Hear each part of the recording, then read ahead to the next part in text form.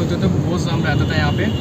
तो आप ये सब देख के यहीं से अंदाज़ा लगा सकते हो, फ्लेवर किस टाइप के बन गए हैं, किस टाइप के यहाँ के रोड्स बन गए हैं। कर रहा हूँ ना टाइम के साथ सब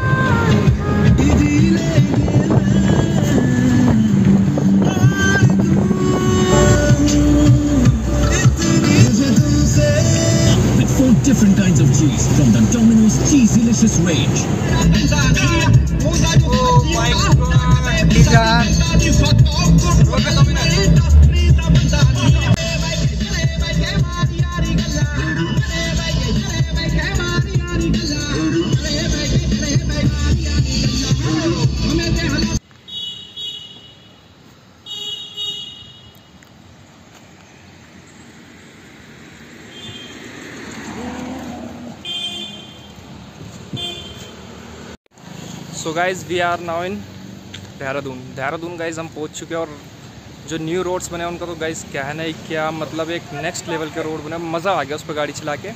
बट न्यू टोल भी बन गया है देहरादून पे भी एटी फाइव रुपीज़ का। टोल तो तीन चार बन चुके हैं नए। एटी फाइव एटी फाइव के अराउंड है सारे टोल बट जो रास्ते का मज़ा है ना गाइड नेक्स्ट लेवल है। एक घंटे में मैं हरिद्वार से देहरादून पहुँच चुका हूँ इमेजिन और पीछे आप लोकेशन देखिए, कितनी प्यारी लोकेशन पे मैं खड़ा हुआ हूँ फॉरेस्ट में ये देखिए। वाह तो ये जो रास्ता है गाइज़ ये हरिद्वार वो शस्त्रधार का मैं शस्त्रधार जा रहा हूँ। से लेके खड़ा चेंज ही कर दिया तेरा तेरे को तो।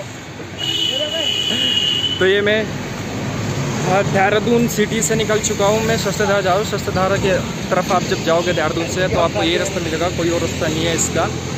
ऊँचे ऊँचे पेड़ों के बीच में रास्ता बना हुआ है फॉरेस्ट हरिद्वार दो तीन साल के बाद आया हूँ, मैं लास्ट आया था 2019 में, अब आया मैं 2021 में। बहुत चेंज हो चुका है, बहुत ज़्यादा चेंज हो चुका है। आप यहाँ की तरफ़ आओ तो आपको 300 500 रुपये तो ऑलमोस्ट टोल के ही अलग से रखने पड़ेंगे टोल टैक्स एक साइड के पाँच सौ रुपये के सारे मिला के बैठ जाएँगे और जाने के भी पाँच सौ अलग से। बट हाईवे भी उस लायक बन चुके हैं यहाँ पे। अभी ब्लॉग बनाना चालू कर रहा हूँ, ध्यान से देख सकते हैं। ये न्यू ब्लॉगर आ रहा है। इंडिया में लॉन्च होएगा अभी।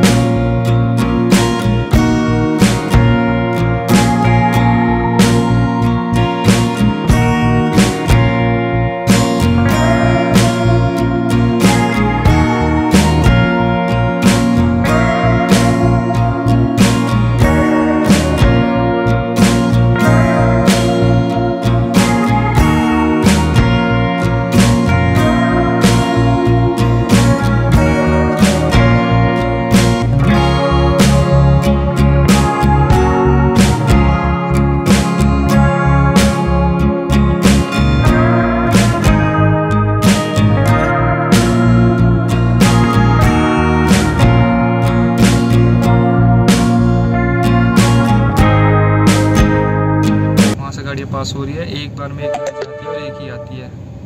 तो इस वजह से ज़्यादा जाम लग रहा है जैसे ये गाड़ी आ रही है अभी।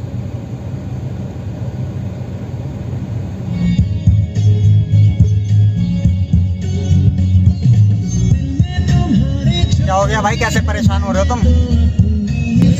हटियो ये थोड़ा सा। इसे मज़े आ रहे हैं जाम में यार। से कोई मतलब ही नहीं है।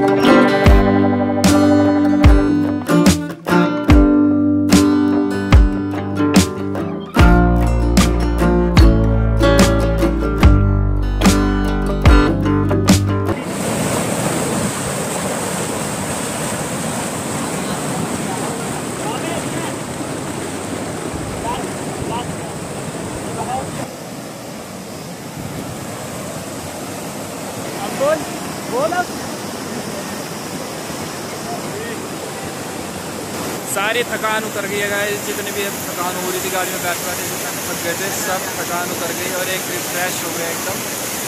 अब यहाँ से वापस जाते हैं कि स्टॉप लेंगे हम हरिद्वार का हरिद्वार में थोड़ी देर रुकेंगे, नहाएँगे, फिर वहाँ से सीधा कर लेंगे दिल्ली के लिए आज ही। तो चलते हैं, यहाँ पे ज़्यादा ज़्यादा कोई एक्स्ट्रा नहीं, पचास साठ किलोमीटर आगे और पचास रुपये